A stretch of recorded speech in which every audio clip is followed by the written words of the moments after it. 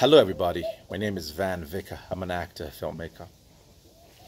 We are all faced with this common threat, COVID 19. And these are difficult times. But I have a question How do we find hope in these difficult circumstances? How do we find hope? I think hope comes both from what we can do or what we are. Now, it is against that backdrop that the Van Vicker School of Performing Arts in Monrovia, Liberia decided to partner with Lena Marshall Foundation to support students, to sponsor students during this pandemic. Now, if you want to help, if you want to reach out a helping hand, you can visit the Lena Marshall Foundation website and follow the prompt. It will be well appreciated.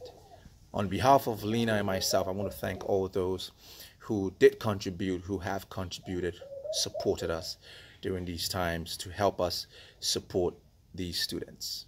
If you help someone and I help someone and somebody helps me, that's the way we will survive.